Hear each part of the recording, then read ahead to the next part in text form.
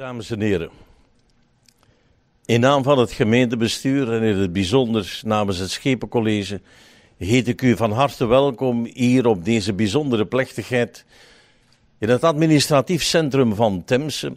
En dat is wat plechtigheden betreft zeer ongebruikelijk. Wij houden eigenlijk onze plechtigheden in het monumentale, majestueuze gemeentehuis dat u van hieruit ziet knipogen en dat zich eigenlijk schitterend leest, leent voor representatie. Maar het is dit weekend carnaval en twee dagen lang is heel het gebouw bezet op een carnavaleske wijze, zodanig dat wij moesten uitwijken naar deze plaats. Dames en heren, u bevindt zich hier in een zeer markant historisch gebouw. Het internationale visitekaartje van onze gemeente was de Boelwerf, de scheepswerf Boel, opgericht in 1829 en helaas de deuren gesloten in 1994 na 165 jaar. Dat was ons internationaal visitekaartje, een oppervlakte van 87 hectare. Op zijn hoogtepunt in de jaren 80 meer dan 3500 werknemers.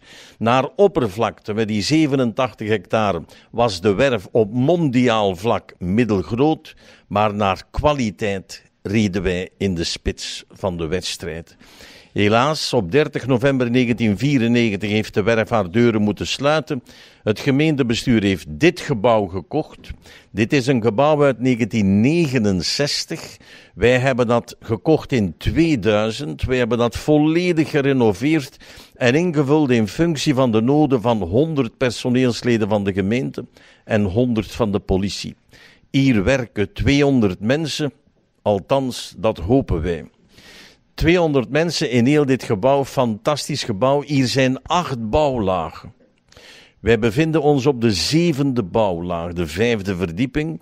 Op deze verdieping heb je, zoals op alle verdiepingen, vergaderlokalen, bergruimte, bureaus, fotocopieermachines. En dat is op elke verdieping zo, zodanig dat alle diensten eigenlijk hun eigen materiaal, hun eigen diensten hebben. U zult zich afvragen, gebruikt u dat gemeentehuis dan nog? Inderdaad, wat is het verschil tussen het gemeentehuis en het administratief centrum? Hier wordt gewerkt, ginder wordt gevierd, gefeest, gehuldigd, ontvangen, gejubileerd, getrouwd. Met andere woorden, ik zeg altijd, hier is de opera en ginder is de musical. Het is dus uitzonderlijk dat wij hier mensen ontvangen. Nog eventjes voor degenen die niet van Temse zijn. Temse is een middelgrote gemeente. Hier zijn in België 589 gemeenten. Temse is middelgroot. Hier zijn bijna 30.000 inwoners. Wij zijn een geïnternationaliseerde gemeente. Hier zijn op de kop 94 verschillende nationaliteiten, waarbij er twee gemeenschappen duidelijk in het oog springen enerzijds de Turkse gemeenschap met meer dan 900 mensen van Turkse origine en anderzijds de Marokkaanse gemeenschap met meer dan 800 mensen van Marokkaanse origine.